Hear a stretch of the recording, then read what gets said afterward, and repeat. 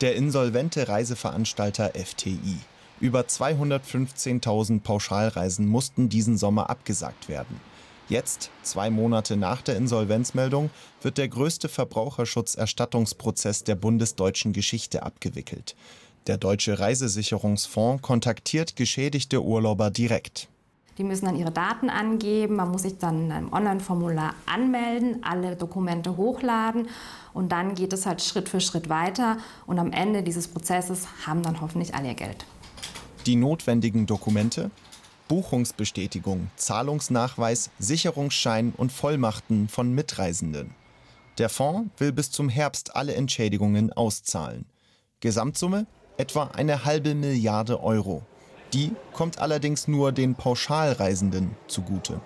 Die, die eine Einzelbuchung getätigt haben, also zum Beispiel nur einen Mietwagen oder nur ein Hotel, die bekommen nichts aus dem Sicherungsfonds.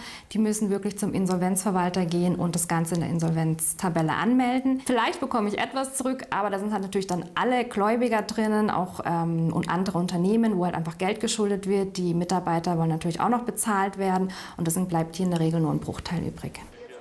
Ins Leben gerufen wurde der Deutsche Reisesicherungsfonds 2021 von der damaligen Großen Koalition.